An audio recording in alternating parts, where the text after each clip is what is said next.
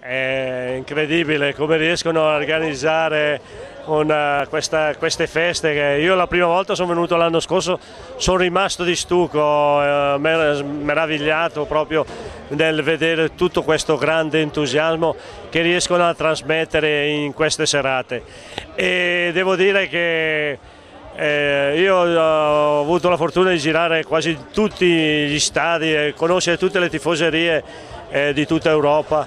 Devo dire che pochissime sono, sono come queste della, de, questi tifosi della Dea, eh, sono incredibili. Eh, ti posso dire che eh, forse uguali sono quelli del Borussia Dortmund, tanto entusiasmo che riescono a trasmettere non solo nella, nella, nella gara ma anche nelle manifestazioni come queste eh, che, so, che avvengono in questo momento.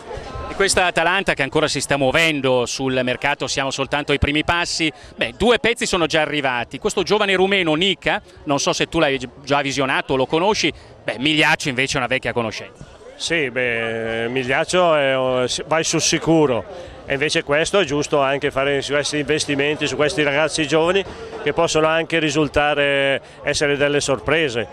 E la cosa più importante secondo me è riconfermare il blocco eh, dell'Atalanta che ha ottenuto degli ottimi risultati in questi ultimi anni. E bisogna trovare una certa stabilità nella categoria e penso che sia questo l'orientamento che ha la società e tutto, tutto l'ambiente.